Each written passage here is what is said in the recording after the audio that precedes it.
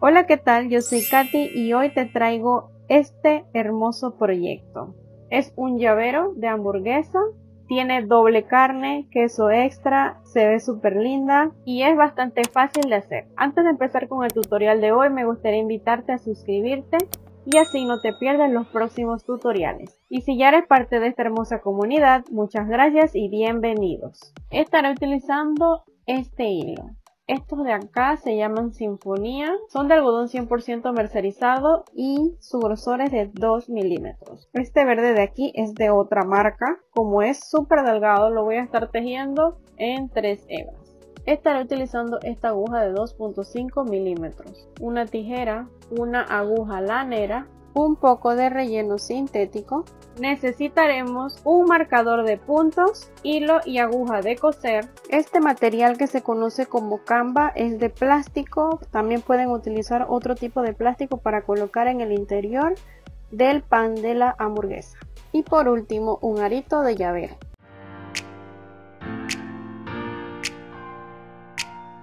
Empezaremos con el pan de la parte superior y vamos a hacer un anillo mágico envolviendo estos dos dedos y cruzando los hilos de esta manera. Introducimos la aguja, sacamos hilo y subimos una cadena. Retiramos el anillo de los dedos y continuamos con 6 puntos bajos. Aquí llevo 1, 2, 3, 4, 5 y 6. Tiramos de este hilo para cerrar el anillo central. Y vamos a empezar la vuelta número 2. Para ello vamos a introducir la aguja en el primer punto bajo que hicimos, sacamos hilo y hacemos un punto bajo. En ese mismo punto vamos a introducir la aguja, sacamos y hacemos otro punto bajo. Ok, en este primer punto de aquí vamos a colocar un marcador. Ya por aquí yo lo he colocado, así que vamos a continuar en el siguiente punto tejiendo un aumento. Un aumento serían dos puntos bajos en un solo punto y ahí está listo. Esto lo vamos a repetir seis veces. Ya llevamos dos, así que nos faltan cuatro. Ya por aquí he finalizado la vuelta número 2. En total tenemos 12 puntos disponibles. Vamos a retirar el marcador para empezar la vuelta número 3. Y para esta vuelta vamos a hacer un punto bajo. Colocamos el marcador antes de avanzar. Y en el siguiente punto vamos a estar haciendo un aumento. Así que vamos a introducir, sacamos hacemos punto bajo, nos vamos a ese mismo punto y hacemos otro punto bajo. Ya hemos hecho el aumento. Continuamos con un punto bajo y luego un aumento. Esta será la secuencia a repetir en esta tercera vuelta. Finalizada la vuelta número 3 deberán tener 18 puntos disponibles. Vamos a tejer la vuelta número 4. Para ello pues he retirado el marcador, introducimos en ese punto, sacamos y hacemos un punto bajo. Colocamos el marcador en ese punto y continuamos con un punto bajo. Cuando ya estén listos los dos puntos bajos, hacemos un aumento, o sea, dos puntos en un solo punto. Ya por aquí está listo, continuamos con dos puntos independientes y luego un aumento. Y esto lo vamos a estar repitiendo hasta finalizar la vuelta. Ya he finalizado la vuelta número 4. En esta vuelta deben tener 24 puntos disponibles. Vamos a hacer la número 5. Introducimos la aguja, sacamos, hacemos un punto bajo, colocamos el marcador en ese punto Continuamos con dos puntos bajos más, 1 y 2. Ya con los puntos bajos listos, vamos a seguir con un aumento. Y como podrán ver, esta será pues la secuencia de esta quinta vuelta. Tres puntos bajos, un aumento, tres puntos bajos, un aumento y así pues hasta llegar al último punto. Finalizada la vuelta número 5, deberán tener 30 puntos disponibles. A partir de esta vuelta ya no vamos a estar haciendo aumentos, sino que vamos a estar haciendo la parte que va aquí lateral y la parte de abajo. Y también les adelanto que estas cinco vueltas las van a estar repitiendo en color rojo, en color chocolate y color verde caña. Y más tarde les voy a mostrar cómo me quedaron los míos y cómo lo van a cerrar. Dicho esto, vamos a continuar con el pan de la parte superior. Para esta vuelta, como les comenté hace un rato, no vamos a estar haciendo aumentos. Ya yo hice el primer punto bajo y voy a estar tejiendo punto bajo en cada punto disponible.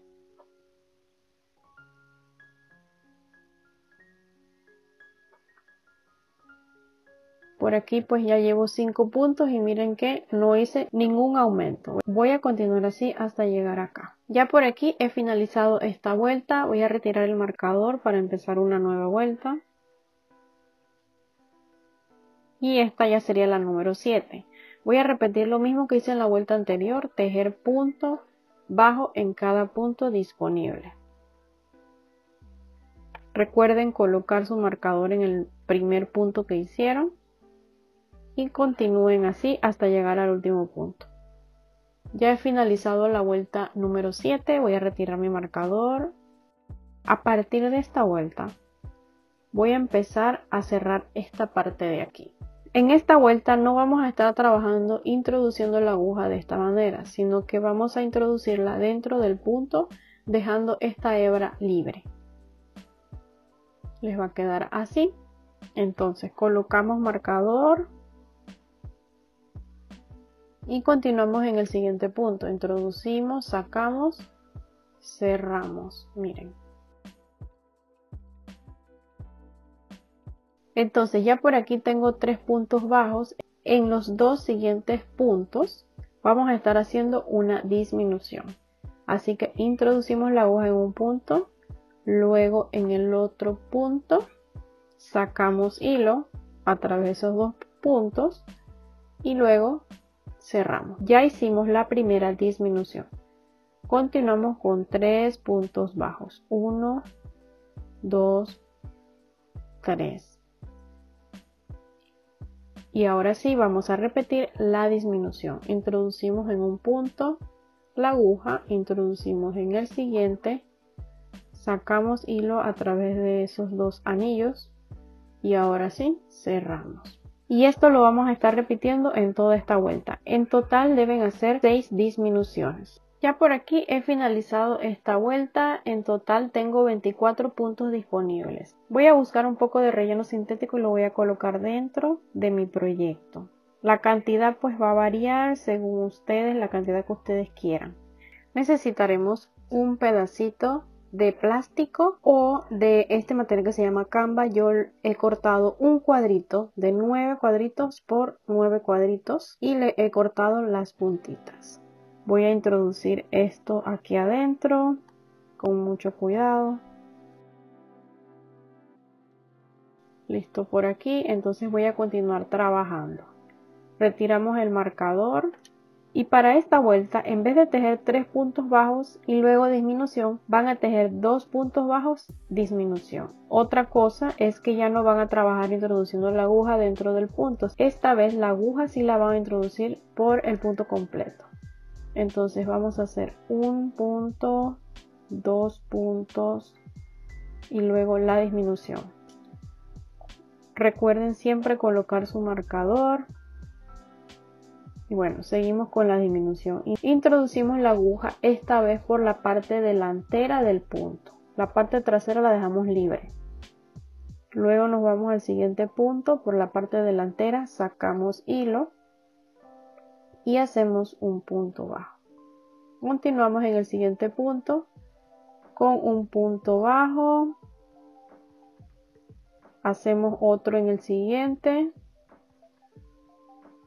queda un total de 2 y luego la disminución introducimos en los dos puntos que siguen en la parte delantera recuerden sacan hilo y cierran y esto lo vamos a estar repitiendo en toda esta vuelta He finalizado la vuelta número 9, vamos a continuar con la número 10. Para ello vamos a retirar el marcador y en ese punto vamos a hacer un punto bajo.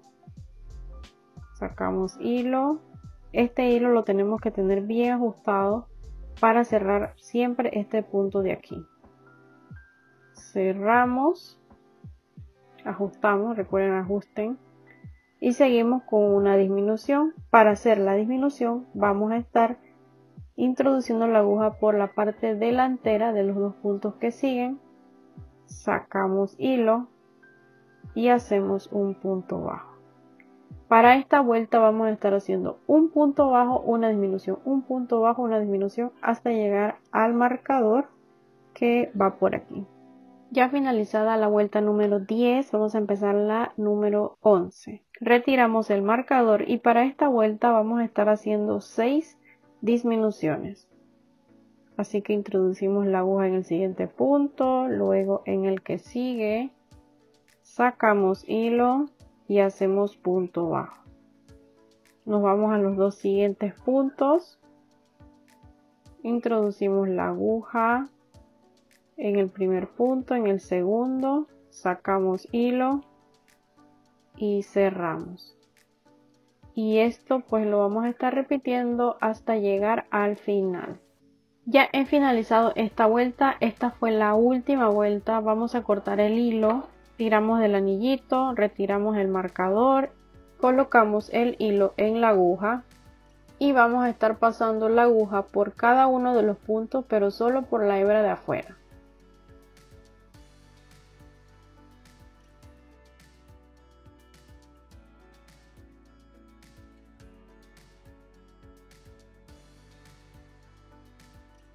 Una vez lo hayan pasado por todos los puntos, van a tirar de ese hilo para cerrar el centro. Miren, ya yo lo he cerrado. Entonces esta aguja la vamos a pasar a través de las puntadas. Yo la voy a pasar por aquí.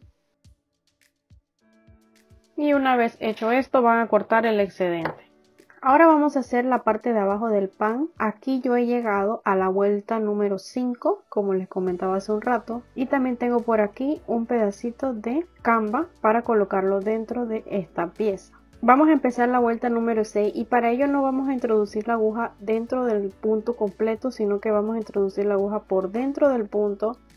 Hacemos punto bajo, y continuamos en el siguiente punto introduciendo la aguja dentro del punto. Esto pues lo vamos a estar repitiendo en toda esta vuelta. Recuerden colocar el marcador en el primer punto que hicieron.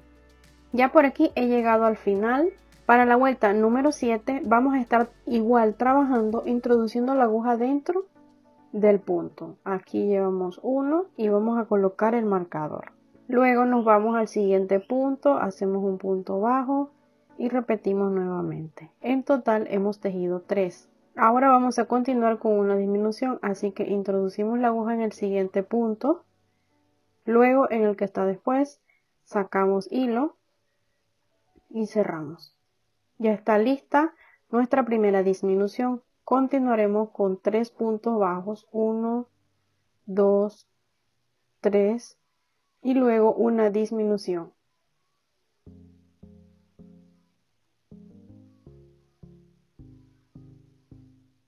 Esta secuencia la vamos a estar repitiendo durante toda esta vuelta. En total debemos tejer 6 disminuciones. Finalizada esta vuelta vamos a estar introduciendo un cuadrito de estos que ya habíamos visto en la parte superior. Recuerden que deben cortar un cuadrito de 9 por 9 cuadritos.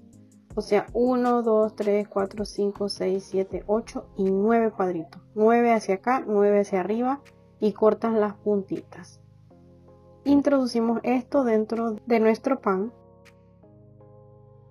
No vamos a colocar relleno, simplemente vamos a colocar el plástico y vamos a continuar con la siguiente vuelta. Retiramos el marcador. Para esta vuelta ya no vamos a estar trabajando introduciendo la aguja dentro del punto, sino que vamos a introducirla por el punto completo sacamos hilo hacemos un punto bajo hacemos otro punto bajo en el siguiente punto y luego disminución. Esta vez pues igual que el pan de la parte superior vamos a estar introduciendo la aguja por delante del punto y del que sigue. Sacamos hilo y cerramos. Para esta vuelta pues vamos a estar haciendo dos puntos bajos, una disminución, dos puntos bajos y así hasta cerrar la vuelta. Ya por aquí he finalizado la vuelta y vamos a estar repitiendo lo mismo que hicimos acá con la parte superior. aquí en esta vuelta nosotros hicimos dos puntos bajos, disminución. En la siguiente vamos a hacer una disminución, un punto bajo, una disminución, un punto bajo. En la que sigue vamos a hacer seis disminuciones y pues esa sería la última vuelta ya para entonces cerrar como lo hicimos aquí.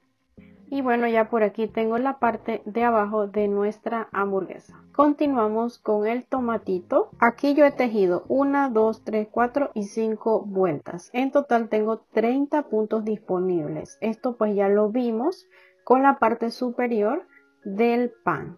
Entonces vamos a cortar el hilo para hacer un cierre perfecto. Tiramos del anillito y este cierre perfecto lo podemos hacer tanto con esta aguja como con una aguja lanera. Yo voy a hacerlo con esta aguja me voy a saltar este punto que está después del último, voy a introducir la aguja de atrás hacia adelante, tomo la hebra y la paso por allí.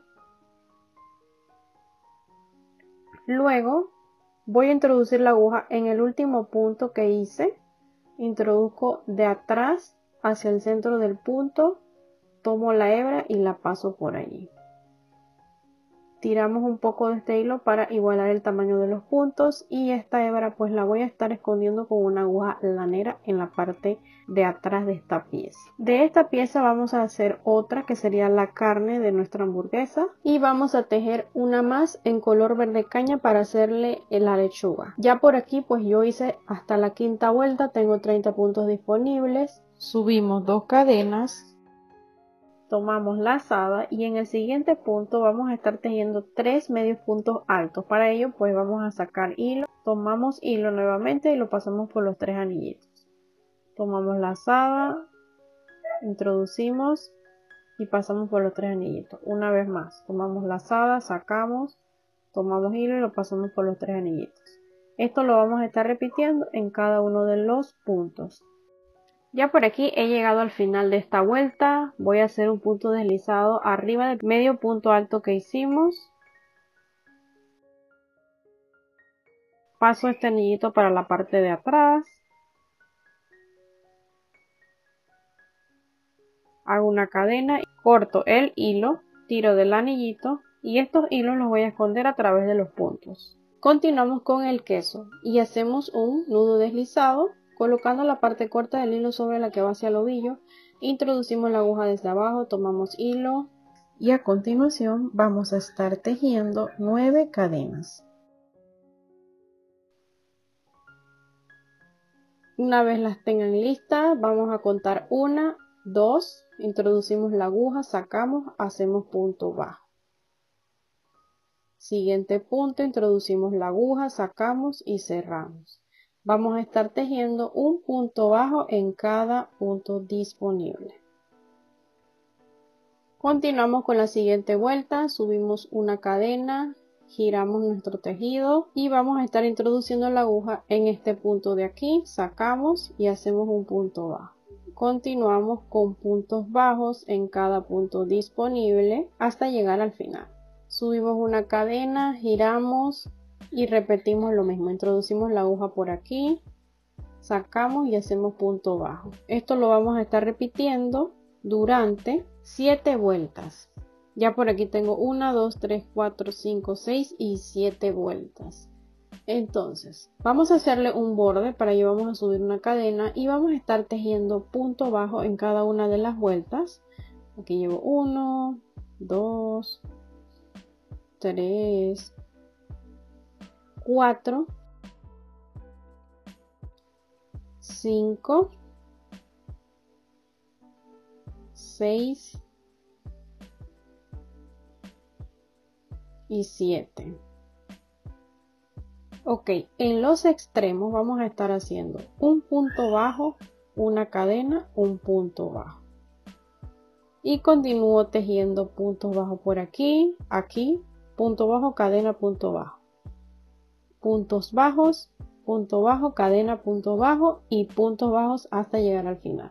Ya llegado al final vamos a cortar el hilo, ya lo corté, tiramos del anillito y vamos a estar haciendo el cierre perfecto que estuvimos haciendo con el tomate. Y ya solo nos queda esconder el hilo. Y antes de empezar a armar voy a hacerle unas puntaditas alrededor del pan de la parte superior para que parezca ajonjolí. Estas las puedes hacer de color blanco, cremita, negras, también hay negras, así que eso ya queda a tu criterio e imaginación.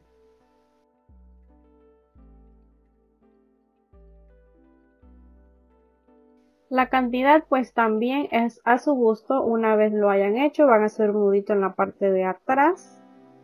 Esta es la ventaja de haber pues usado este material que tiene cuadritos cortan el excedente y listo. Ok, al final deben tener pues sus piezas listas. Por aquí yo tengo dos carnes, tomate, pan de abajo, pan de arriba, queso y lechuga.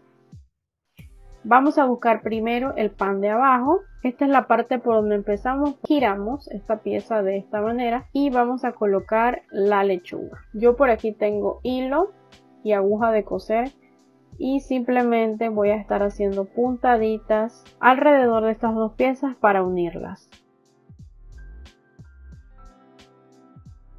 Esto también lo pueden pegar con algún silicón caliente o silicón frío de su preferencia, apto para este tipo de material. Luego de que unen estas dos piezas van a colocarle las dos carnes.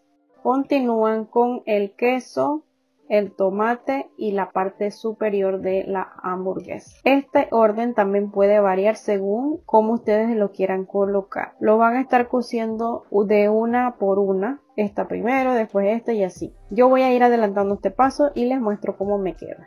Ya por aquí solo me falta colocarle la parte superior a mi hamburguesa y lo que voy a hacer es pasar la aguja por la parte superior, por la parte de abajo, luego por la parte superior por la parte de abajo. Y así en todo alrededor. Miren que yo no estoy pasando por aquí por el borde sino un poquito hacia adentro. De igual forma en la parte roja que es el tomate. Ya por aquí he terminado mi hamburguesa. Miren qué bonita se ve. Los colores se ven muy bonitos. Así que anímate y haz la tuya. Una vez más gracias por estar aquí gracias por tu visita y espero verlos en el próximo video. Chao, chao.